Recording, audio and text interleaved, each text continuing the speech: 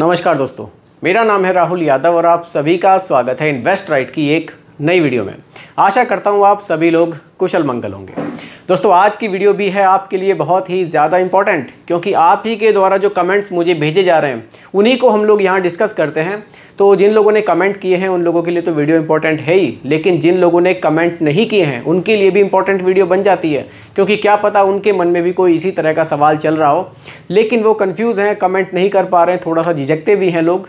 कोई दिक्कत नहीं है। आप वीडियोस को देखिए, काफ़ी हद तक म्यूचुअल फंड के बारे में जो भी आपके डाउट होंगे, वो क्लियर यहाँ पर हो जाएँगे। क्योंकि देखिए, हम लोगों के मन में ना लगभग लगभग सेम ही डाउट रहते हैं, किसी के मन में कुछ थोड़ा बहुत अलग चलता है। तो अगर आप लोग ये सीरीज़ मेरी देखेंगे डेली तो काफ़ी हद तक म्यूचुअल फंड को लेकर जो आपके मन में डर है, कहीं पैसा रिस्क में है या कहाँ है, कहाँ निवेश किया जाता है, मेरा पैसा डूब तो नहीं जाएगा, मेरे पैसे का क्या होगा, सब कुछ हर एक डाउट आपका यहाँ क्लियर हो जाएगा। तो चलिए शुरुआत करते हैं आज के सेशन की। वीडियो है आपके लिए इंपॉर्टेंट पसंद आती है लाइक ज़रूर किया कीजिए। और अगर आप लोग मेरे चैनल पर नए हैं, इसको सब्सक्राइब भी आप लोग ज़रूर किया कीजिए। चलिए स्टार्ट करते हैं। देखिए, लेते हैं अपना पहला कमेंट ये है दिनेश्वर जी का कमेंट है, सर, मुझे पंद्रह हज़ार की एसआईपी करनी है और मुझे पाँच साल बाद घर भी लेना है और बीस साल बाद मेरी लड़की के लिए रखना है, मेरी लड़की दस महीने की है प्लीज़ स्पीक एक वीडियो बना दो, मैं महाराष्ट्र से बात कर रहा हूँ। सर, आपका बहुत बहुत स्वागत है हमारे चैनल पर। देखिए, पंद्रह हज़ार की आपको एसआईपी करनी है, पाँच साल बाद आपको घर लेना है। देखिए, पंद्रह हज़ार की एसआईपी से मुझे नहीं लगता कि पाँच साल में आप इतना पैसा बना लेंगे कि आप ईज़िली घर ले पाएँ। ये आपको एक सपोर्ट ज़रूर कर सकती है क्योंकि देखिए एसआईपी कोई मैजिक नहीं है कि आपने कभी भी एसआईपी शुरू की, आपको करोड़ों रुपए मिल गए। एसआईपी में जितना पैसा आप निवेश कर रहे हैं, आपको समय भी निवेश करना होगा। आपको लंबे समय एसआईपी चलानी पड़ती है। हाँ ये जो आपका, जो दूसरी टॉपिक है, इसमें दूसरा जो टॉपिक है, बीस साल बाद आपको, आपकी जो गुड़िया है, उनके लिए पैसा रखना है। उसके लिए ठीक है, आपने एसआईपी अभी से स्टार्ट करी है। बीस साल बाद आपको बहुत अच्छे पैसे ये एस बनाकर दे सकती है। तो देखिए, जो पाँच साल बाद आपको घर लेना है, आप ऐसा कर सकते हैं एसआईपी को शुरू कर सकते हैं। पाँच साल बाद जब आपको या छः साल बाद जब भी आपको घर लेना होगा थोड़ा सा पैसा आप यहाँ से निकाल कर उसमें आपको सपोर्ट मिल जाएगी। बाकी एसआईपी को आप कंटिन्यू रखिएगा तो ये लॉन्ग टर्म में फिर से आपको रिटर्न अच्छे बना कर देगी। कोशिश करिएगा, पंद्रह हज़ार का जो आपका यहाँ इन्वेस्टमेंट रहेगा मंथली उसमें आप स्मॉल कैप भी जैसे रखेंगे तो स्मॉल कैप को कोशिश करिएगा, पाँच साल बाद उसको ब्रेक आप ना करें। उसको चलने दीजिएगा लंबे समय तक। तो वो आपका जो 20 साल के बाद का जो आपका फाइनेंशियल गोल है, उसमें वो फंड काफ़ी हेल्प करेगा आपकी। देखिए, पंद्रह हज़ार का आपका निवेश है, आप यहाँ क्या कर सकते हैं? आप यहाँ स्मॉल कैप को ज़रूर रखिएगा स्मॉल कैप आप यहाँ फ्लेक्सी कैप को ज़रूर रखिएगा फ्लेक्सी कैप कुछ बेसिक फंड्स होते हैं, देखिए, इनको हमें पोर्टफोलियो में ज़रूर रखना चाहिए। जैसे कि स्मॉल कैप हुआ फ्लेक्सी कैप हुआ एक कैटेगरी हमारी आगे लार्ज एंड मिड कैप इससे आपका लार्ज और मिड दोनों कैटेगरी यहाँ कवर हो गई। एक कैटेगरी आपकी मिल गई आपको, कोई एक थीमेटिक रख लीजिए आप। देखिए, इस तरह से आप पोर्टफोलियो थोड़ा सा बैलेंस करके चलेंगे। आप चाहे पाँच साल बाद थोड़ा बहुत पैसा विड्रॉल करें या फिर आप बीस साल तक इसको कंटिन्यू रखें। आपका जो पोर्टफोलियो है, उसमें जो रिटर्न्स हैं, आपको स्टेबल मिलेंगे। और यही हमारा टारगेट होना चाहिए। बहुत ज़्यादा रिटर्न्स के पीछे नहीं भागना है। रिटर्न्स अच्छे मिलते रहे, कभी भी पैसे की ज़रूरत हो, हम इजिली निकाल लें। इस तरह के इन्वेस्टमेंट को लेकर चलेंगे तो आपके लिए बिल्कुल एकदम रिलीफ रहेगा, कोई पेनफुल चीज़ आपके लिए नहीं बनेगा म्यूचुअल फंड जो लोग ज़्यादा रिटर्न्स के पीछे म्यूचुअल फंड में भागते हैं, बहुत हाई रिस्क में पैसे को निवेश करते चले जाते हैं, उनके लिए ये बहुत पेनफुल हो जाता है। तो हमें इस तरह का इन्वेस्टमेंट नहीं करना है सिंपल इन्वेस्टमेंट करना है, ताकि जो रिटर्न्स हैं हमें ठीक ठाक मिलते रहें। चलिए, आपका सवाल उम्मीद करता हूँ पूरा हुआ होगा। चलिए, ये है भोपाल जी का कमेंट है, जाटव। सर, मेरे पास एक लाख रुपए हैं, मैं क्वांट स्मॉल कैप फंड में करूँ या Aditya Birla sun life PSU equity fund में करूँ? कौन सा अच्छा रहेगा? देखिए, क्वांट स्मॉल कैप बिल्कुल यहाँ आप कर सकते हैं, क्योंकि सभी स्मॉल कैप्स में तो लमसम अवेलेबल नहीं है, लेकिन क्वांट में है। बाकी आदित्य बिरला सन लाइफ जो पीएसयू फंड है, इसमें भी आप कर सकते हैं। देखिए, दोनों funds high very high risk category के हैं। एक स्मॉल कैप है और एक थीमेटिक है। दोनों का डिफरेंस समझिए। स्मॉल कैप में क्या होगा? आपका मैक्सिमम पैसा छोटी कंपनियों में निवेश किया जाएगा, जिनकी रैंकिंग 251 से स्टार्ट होकर 500 तक जाएगी। ये तो हो गया स्मॉल कैप थीमेटिक फंड में क्या होगा? आपका मैक्सिमम पैसा पीएसयू स्टॉक्स में निवेश किया जाएगा।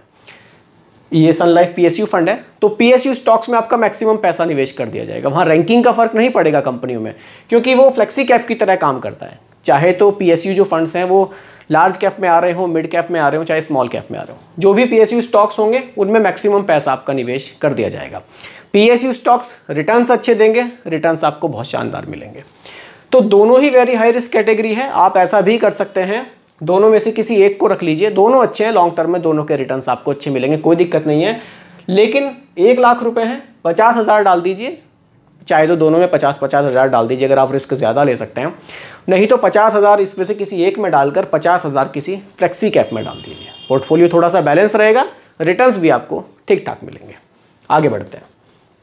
अगला सवाल सर, मैं हाउस वाइफ हूँ निपॉन इंडिया स्मॉल कैप में एक हज़ार की S I P I C I C blue chip में एक हज़ार की और एस बी आई के कॉन्ट्रा फंड में एक हज़ार की। बिल्कुल सही है मैम, कोई दिक्कत नहीं है।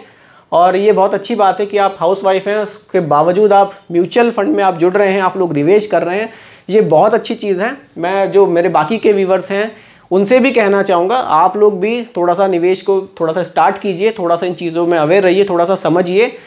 देखिए हाउस वाइफ है स्टार्ट किया है म्यूचुअल फंड अच्छी बात है लॉन्ग टर्म में रिटर्न्स अच्छे मिलेंगे।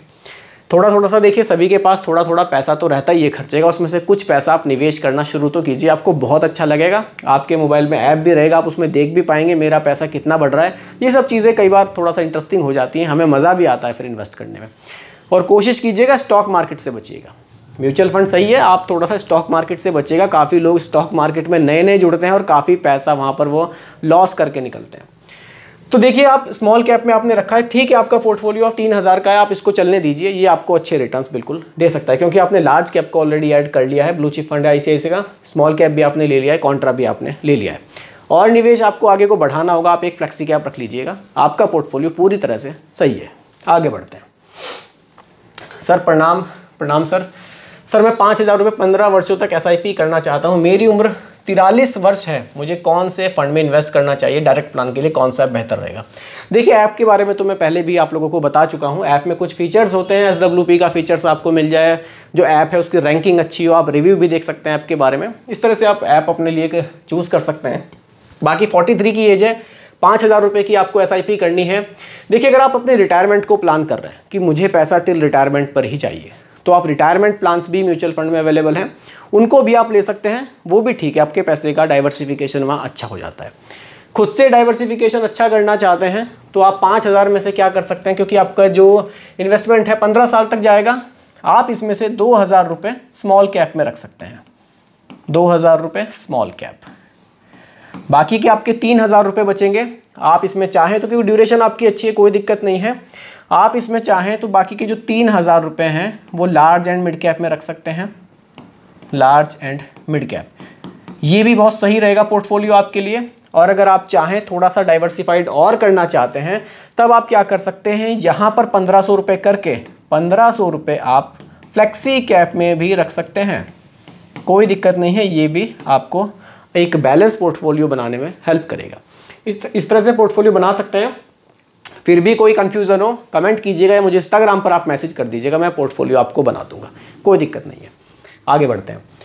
अगला सवाल है sir I am thirty three year old salaried person who one thirty three thousand per month invest five thousand per month in E T F और म्यूचुअल फंड सवाल यहाँ ये है कि इन्वेस्टमेंट अगर करना है तो म्यूचुअल फंड में करें या फिर ई टी एफ़ में करें।